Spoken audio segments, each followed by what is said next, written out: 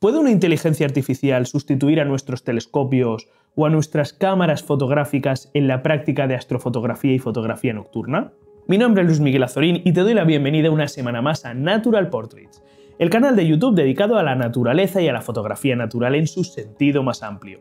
Mucho se está hablando últimamente sobre la inteligencia artificial y sobre todo sobre aquellos aspectos que a nosotros nos afectan, la inteligencia artificial aplicada al mundo de la fotografía. Y sobre todo, a la velocidad que está evolucionando todo esto y con los resultados que está empezando a dar esta tecnología, algunas disciplinas fotográficas van a empezar a pasarlo mal. Pero, ¿hasta qué punto una inteligencia artificial puede afectar a disciplinas como la astrofotografía, el astropaisaje o la fotografía nocturna? Vamos a verlo en este vídeo.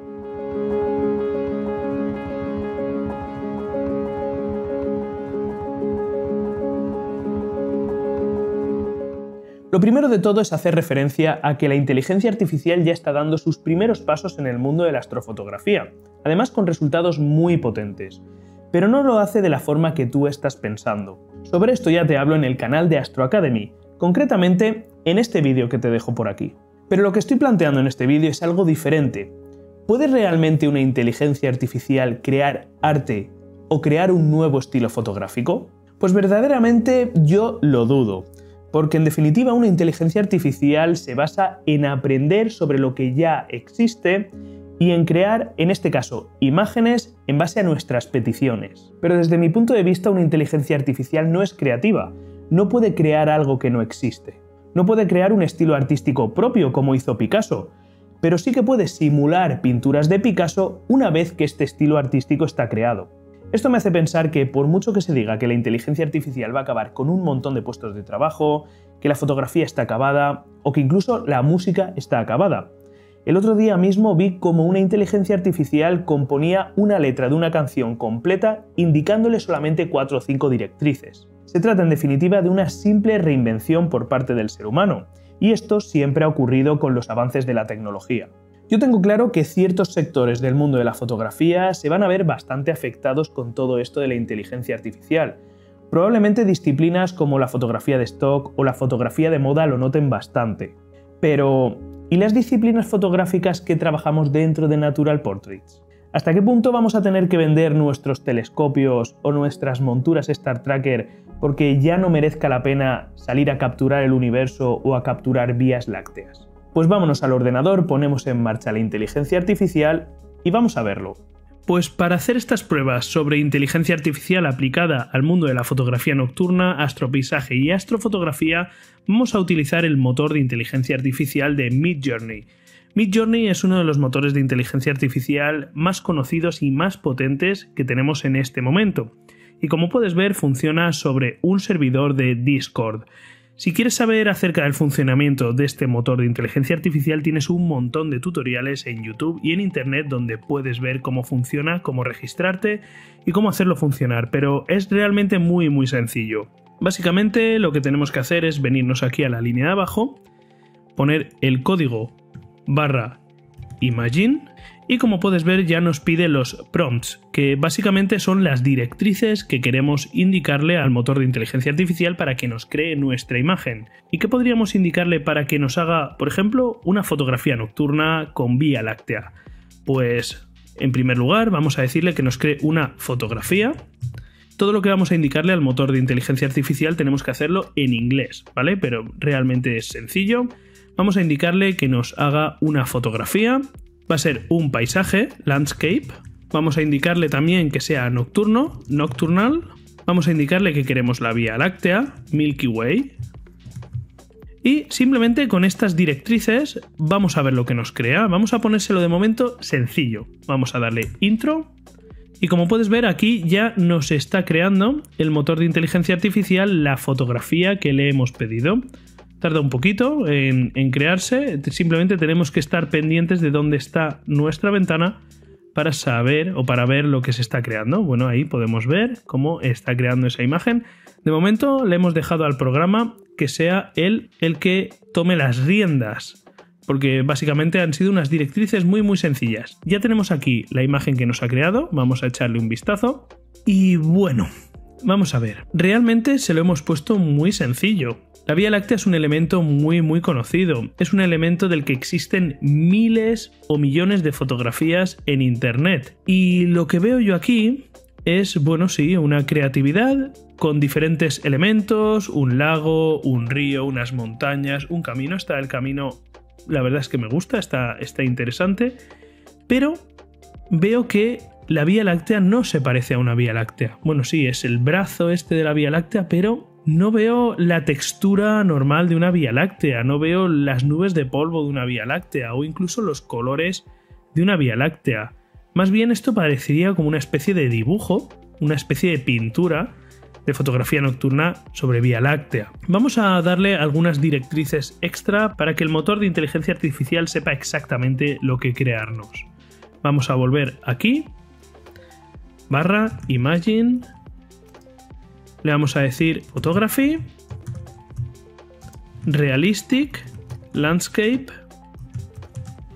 Milky Way, le vamos a decir que nos ponga road, una carretera, un camino. Esa fotografía del camino me ha gustado. Y no sé, vamos a ponerle algunos parámetros de fotografía. Por ejemplo, wide angle y por ejemplo f2.8. Vamos a probar de esta manera a ver lo que nos crea.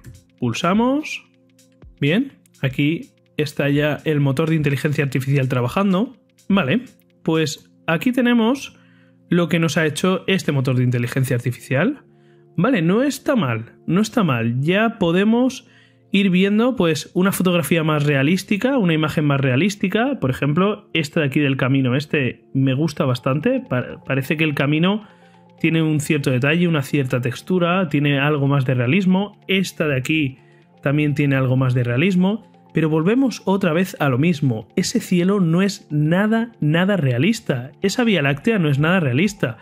Ahora aquí sí que parece que estamos viendo un poco las estructuras del núcleo de la Vía Láctea, pero sigue siendo una especie de pintura, sigue siendo algo que no se parece para nada a la Vía Láctea a la que estamos acostumbrados. Vamos a pedirle al programa, me ha gustado especialmente esta primera y la segunda, lo que voy a hacer va a ser coger la primera, que parece que las estructuras de la Vía Láctea son más realísticas, y le voy a decir que me haga cuatro versiones diferentes. Me vengo aquí, pulso en V1 y lo que va a hacer el programa, el motor de inteligencia artificial, es crearme cuatro versiones más sobre esta fotografía de aquí. Bien, pues aquí tenemos las cuatro versiones que nos ha creado. Tenemos cuatro versiones de caminos que realmente son muy muy parecidos, apenas hay diferencias entre ellos. Quizás en este caso el camino que más me gusta a mí es este, el cuarto, porque tenemos aquí el arbolito este que aporta algo más en la composición pero volvemos a lo mismo. Es que esta Vía Láctea es como una especie de pintura. No tiene la textura normal de una Vía Láctea ni de lejos. Vamos a hacer otra prueba, vamos a indicarle que nos haga una Vía Láctea realística. Vamos a ver lo que nos hace el programa. Nos venimos aquí. Imagine. Photography. Hyper Realistic Sky Milky Way. Vamos a ver ahora. Bien, pues aquí tenemos nuestra creación y nos encontramos nuevamente lo mismo. Tenemos, la verdad, que cuatro composiciones muy chulas. Esta de aquí de la casa abandonada realmente está muy chula esta composición. Sería una composición muy muy guapa a un nivel muy realístico de fotografía nocturna con Vía Láctea, pero es que esto queda muy lejos de lo que consideramos realístico con Vía Láctea. Esta composición de aquí también es súper interesante, con este, este cráter que tenemos aquí con la Vía Láctea y con esta persona.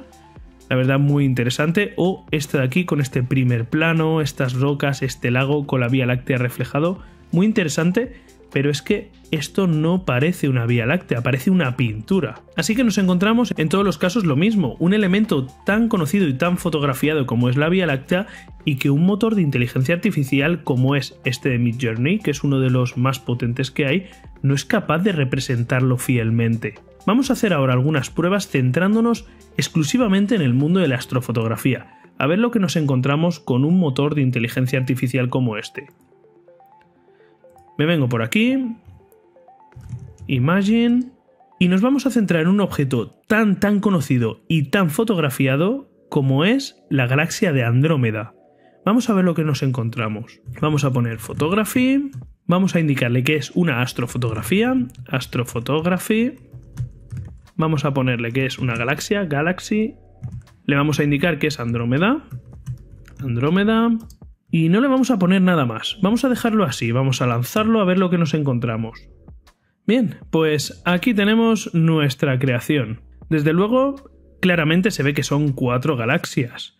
Y más o menos podríamos intuir que puede ser Andrómeda, sobre todo esta de aquí, que vemos cómo nos ha mostrado la espiral de la galaxia principal y una segunda espiral, una segunda galaxia más pequeñita que podría ser M110 con lo cual podemos ver que el motor de inteligencia artificial tiene cierto conocimiento sobre qué es una galaxia y qué es la galaxia de Andrómeda, porque aquí nos lo ha representado. Además, en las cuatro imágenes podemos ver que los colores en los que se ha representado la galaxia Andrómeda son los colores reales de esta galaxia, con estos tonos azules en la parte exterior y ese tono más dorado que tiene en la zona del núcleo. Pero una vez más volvemos a lo mismo. La galaxia Andrómeda es una galaxia de sobra conocida, pero un motor de inteligencia artificial es incapaz de coger esa imagen de la galaxia Andrómeda y plasmarla en una imagen con unas directrices que nosotros le demos. Básicamente lo que hace es crear, crear una galaxia, una imagen de una galaxia o un dibujo de una galaxia que no existe y mostrárnoslo como si fuese la galaxia Andrómeda. Vamos a hacer otra prueba con otro objeto todavía más conocido. Vamos a venirnos por aquí, vamos a poner Imagine, Photography, Astrophotography y vamos a poner Orion Nebula. Nebulosa de Orión está clarísimo qué objeto es, con lo cual vamos a ver lo que nos muestra. Vamos a lanzar la instancia Bien, pues aquí tenemos nuestra creación. y fíjate lo que nos ha hecho este motor de inteligencia artificial. Verdaderamente sabe qué es la nebulosa Orión, sabe lo que es una nebulosa y sabe qué nebulosa es concretamente la nebulosa de Orión. Porque fíjate que estos filamentos, este núcleo, estos colores y esta zona de aquí, esta parte de aquí con, con esta nebulosidad que tiene aquí, es súper característico de la nebulosa de Orión.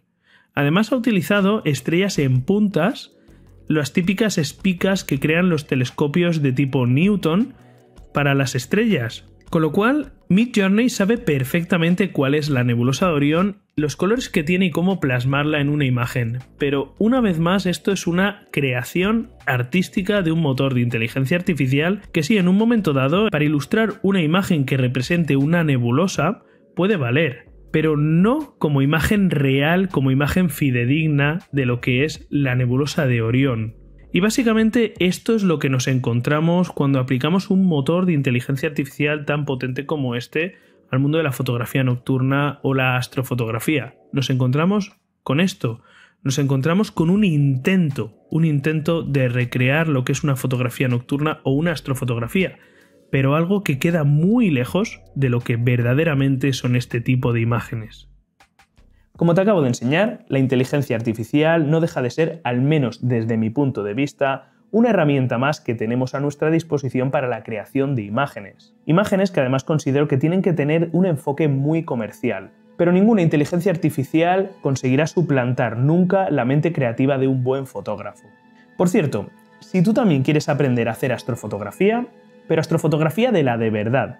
Dentro de la Academia Natural Portraits tienes a tu disposición más de 20 horas de contenido formativo en astrofotografía y procesado astrofotográfico, desde nivel iniciación hasta nivel avanzado, sin dar nada por hecho, y apoyado en el uso de los softwares más potentes para ello.